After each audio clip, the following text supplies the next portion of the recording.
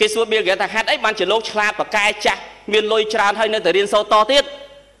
Bill Gates ឆ្លើយថាពីព្រោះតែពិភពលោកមានអ្វីដែលថ្មីថ្មីរាល់ថ្ងៃដែលខ្ញុំត្រូវសិក្សារៀនសូត្ររហូត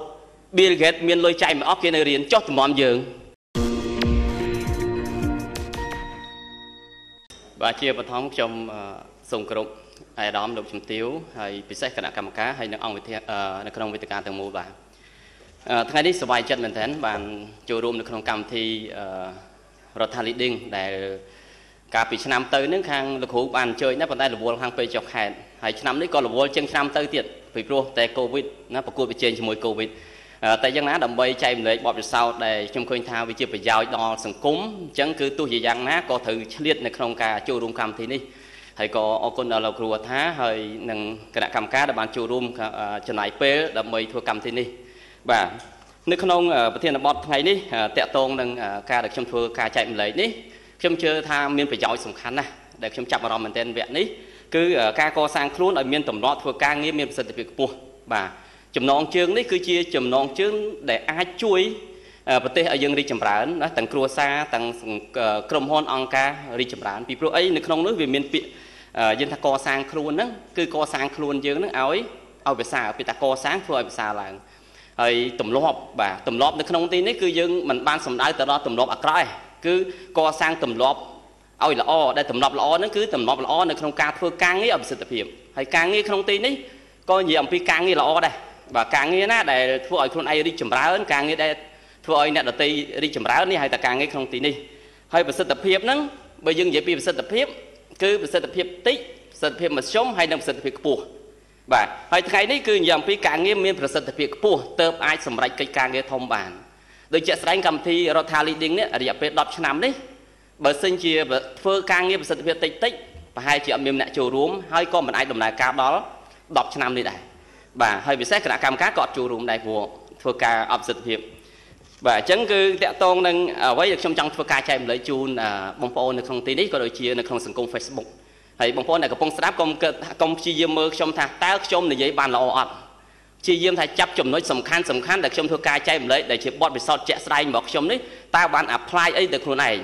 បាទអញ្ចឹងនៅក្នុងនេះខ្ញុំដោយសារពេលវេលាខ្លីផងខ្ញុំមានចំណុច7ជាគោលដែលឲ្យបងប្អូនយើងបានសិក្សាពីពីប្រធានបទមួយកសាងខ្លួនឯងឲ្យមានទម្លាប់ធ្វើការងារមានប្រសិទ្ធភាពខ្ពស់ចំណុចទី1គឺ ដើម្បីឲ្យធ្វើការមានប្រសិទ្ធភាពធ្វើប្រឹងប្រែងអស់ពីចិត្តអស់ពីថ្លើមនោះគឺចំណុចទី1ត្រូវមានទស្សនវិស័យឬដែលថាមានគោលដៅច្បាស់លាស់នោះឯងបើយើងចាប់ផ្ដើមធ្វើអីមួយដែលមិនមានទិសតំបន់ច្បាស់លាស់ទៅណាអត់ច្បាស់លាស់ទេបងប្អូនបើកឡានអាចលឿនបានលោកណាបងប្អូនមានគោលដៅទៅហើយអញ្ចឹងបងប្អូនធ្វើការឲ្យល្អមានប្រសិទ្ធភាពចំណុចទី1គឺត្រូវមានគោលដៅ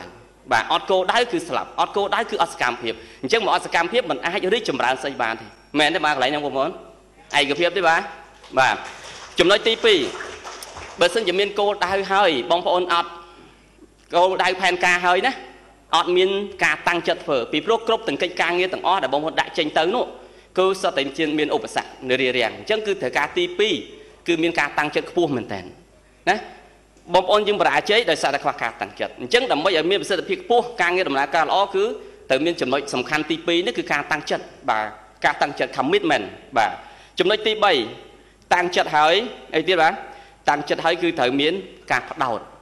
មិនចេះតាំងចិត្តធ្វើនេះធ្វើនោះធ្វើនេះគឺ focus តែម្ដងគឺ focus ទៅលើកិច្ចការងារដែលកំពុងតែធ្វើ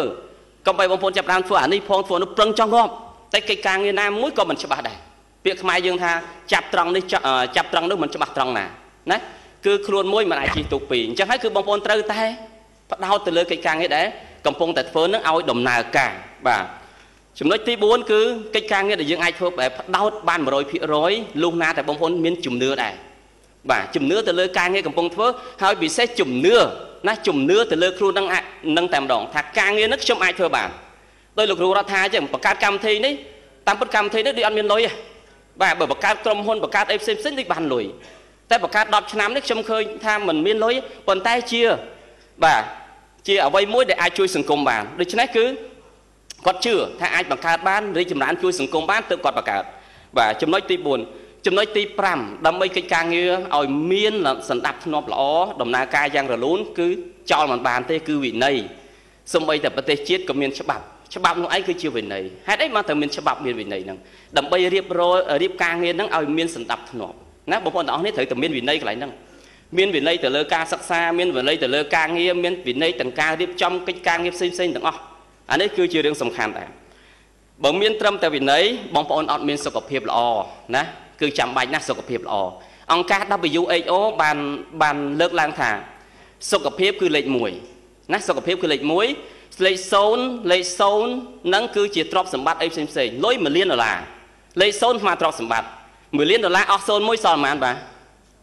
សល់ប៉ុន្មានបាទសល់100000មែនទេ100000អស់លេខ01ទៀតសល់ប៉ុន្មានសល់ 10000តែបើអស់លេខ1គឺ0តែម្ដងយ៉ាងណាមិញបើយើងអត់មានសុខភាពបាទមានទ្រព្យសម្បត្តិច្រើនយ៉ាងណាក៏ដោយស្មើនឹង0 Steve Jobs បាត់បង់ជីវិតនៅអាយុ50ឆ្នាំជាងទ្រព្យសម្បត្តិចាញ់អស់មែនទេបាទកន្លែងនេះបាទអញ្ចឹងហើយគឺថែទាំសុខភាពឲ្យល្អឱកាសជោគជ័យកិច្ចការងារល្អល្អជាច្រើនវានឹងកើតឡើង